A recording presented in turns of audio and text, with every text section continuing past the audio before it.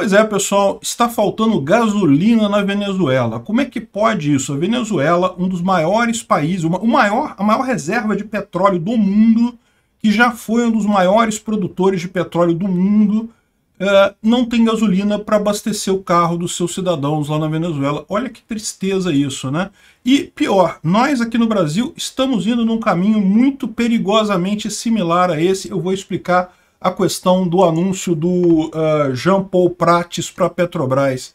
Mas vamos, vamos falar sobre isso. Essa notícia foi sugerida por Reder Senna e várias outras pessoas. Obrigado aí ao pessoal que sugeriu a notícia. Obrigado a você que está assistindo o nosso vídeo. Se você gosta do nosso conteúdo, por favor, deixe o seu like e se inscreva aqui no canal. Né?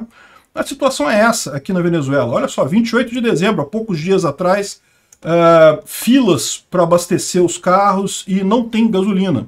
A, a gasolina lá, na Venezuela é muito subsidiada pelo governo. Né? O governo garante que é um valor muito baixo, mas isso não ajuda em nada se você não tem gasolina. Né? Se você não tem gasolina, não importa se está custando X ou Y, não tem gasolina, você não consegue abastecer, não resolve o problema da população. E olha só, isso é que é um absurdo. Você vê a lista das maiores reservas de petróleo do mundo. A primeira, que é a Venezuela, é a maior reserva do mundo de petróleo, mais até do que a Arábia Saudita. É verdade que na Arábia Saudita, além de ter a reserva, a segunda maior reserva do mundo, a Arábia Saudita tem uma reserva muito fácil de explorar. Então pegar, tirar petróleo lá na Arábia Saudita é uma pô, molezinha, você joga uma, enfia o pé no chão, assim já sai petróleo já, né? Na Venezuela é um pouco mais difícil, mas ainda assim eles têm muito petróleo lá, e não é como aqui no Brasil que tem pré-sal, tem que é, furar lá no fundo, extremamente complicado tirar petróleo aqui no Brasil, né? E o Brasil está aqui embaixo, número 13. Enfim, uh, por que está faltando gasolina lá na Venezuela? E o fato começou exatamente com o governo socialista. O governo socialista acha que resolve as coisas, resolve, eu vou resolver o problema do mercado ditando como que o mercado tem que funcionar. Então lá, isso começou lá com Hugo Chávez diminuindo artificialmente o valor da gasolina lá no, quando ele assumiu em 99, não, 98, sei lá quando é que ele assumiu a presidência lá na, na Venezuela. Mas ele baixou o valor da gasolina, botou um valor baixinho, o povo ficou satisfeito, é lógico, é positivo isso. Qual que é o problema desse tipo de coisa? Isso sucateou a indústria petrolífera da Venezuela. Para você tirar petróleo da Venezuela, você, por mais que seja simples, por mais que tenha muito, existe um custo você fazer poços e coisa e tal. E veja, embora você possa ter uma produção muito grande, né, você não, sem precisar de mais investimentos, você tem uma produção muito grande, isso é uma ilusão, porque o tempo todo os poços de petróleo eles acabam. Você fura um lugar, começa a tirar petróleo daquela região, tem uma hora que aquele poço ele, ele fica é, não serve mais, não sai mais petróleo, ou sai muito pouco petróleo. Então você tem que abandonar aquele poço, você vai alguns quilômetros para lá, cavou com outro poço lá e, e começa a puxar daquele outro lugar. Isso é uma coisa constante na indústria do petróleo. Então, você tem que estar sempre investindo, sempre tem investimento nessa área. E aí, qual que é o problema que aconteceu lá na Venezuela?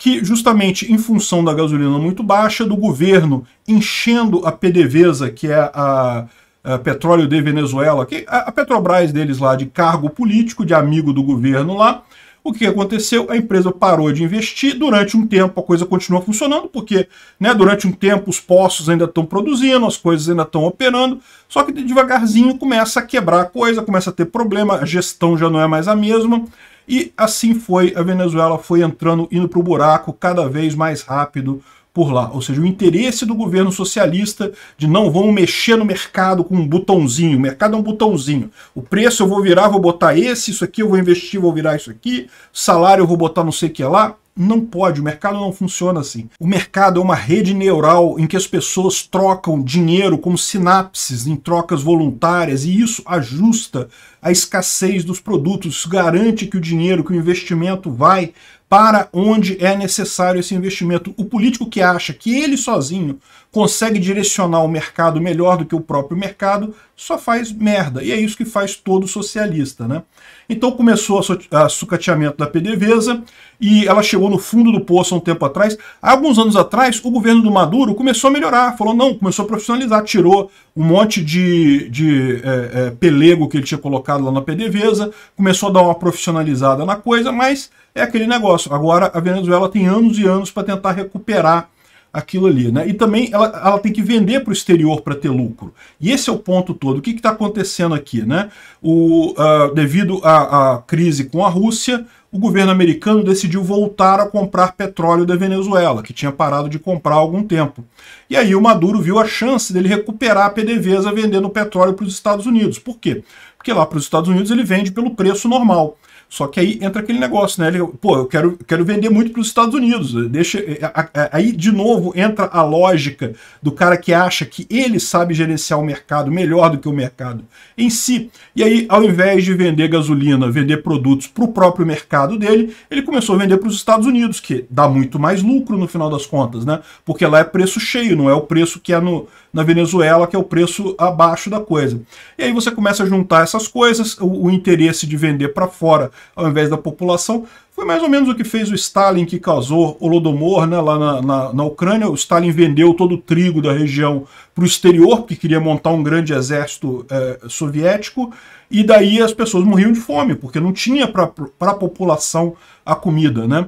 E chega a ser engraçado, eu estou lendo um livro sobre isso, na né, Fome Vermelha, muito bom o livro, é, justamente sobre essa fome na Ucrânia. E chega a ser engraçado que na época, no início, né, era, logo depois da Revolução Socialista que isso aconteceu, muita gente culpava a burguesia. Não porque os burgueses, não sei o que, no final era o Stalin. O Stalin que tirou o trigo para vender para o exterior, justamente para tentar ganhar dinheiro para armar o exército dele. Né? E é a mesma coisa que o Maduro está fazendo lá na, na Venezuela. Está pegando o dinheiro da PDVSA, vendendo para os Estados Unidos para encher as burras de dinheiro e deixa o povo sem gasolina. Né? Para piorar, com pouca manutenção, com pouco cuidado, aqui foi uma refinaria que pegou fogo na Venezuela, em Punta Cardón. É, esse, esse negócio aqui, isso aqui não é incêndio não, tá gente? Isso aqui, pelo que eu entendi, isso aqui deve ser um flare.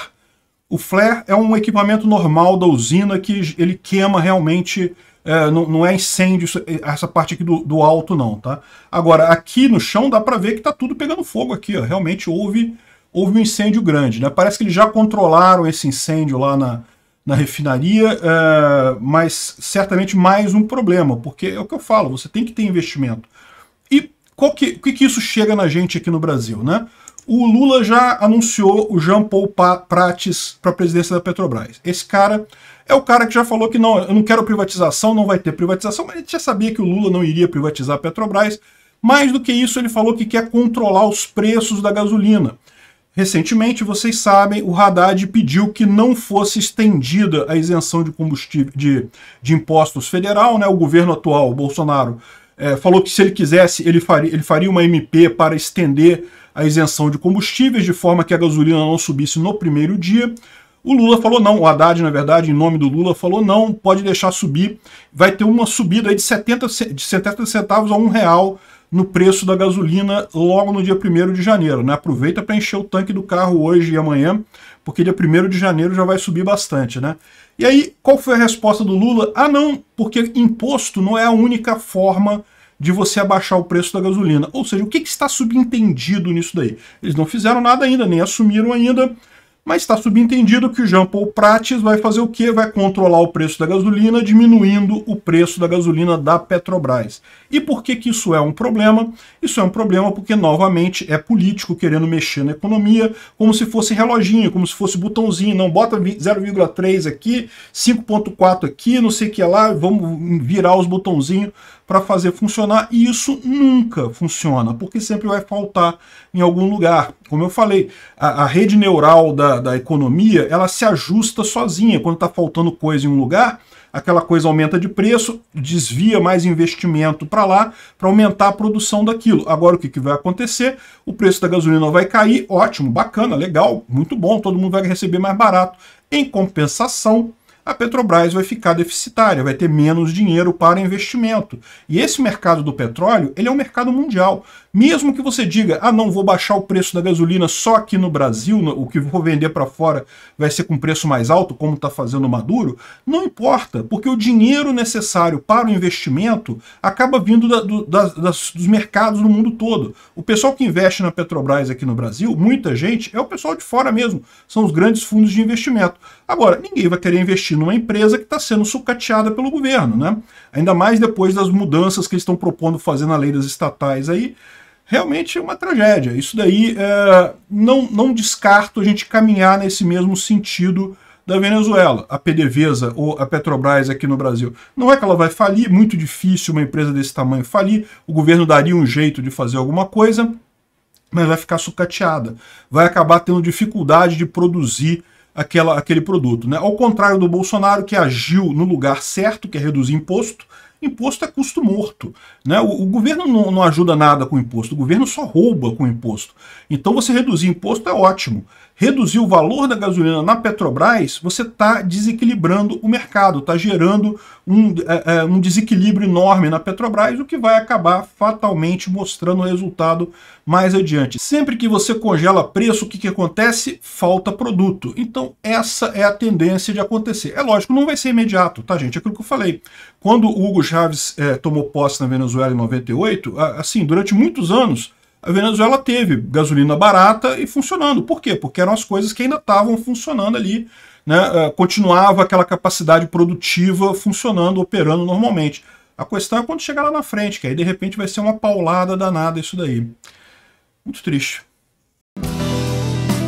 Obrigado por assistir o vídeo até o final. Além de curtir, compartilhar e se inscrever no canal, considere se tornar patrocinador com valores a partir de R$ 1,99 clique no botão Seja Membro abaixo para saber as condições e vantagens de patrocinar o canal. Mais informações sobre o nosso projeto, visite nossos sites indicados na tela.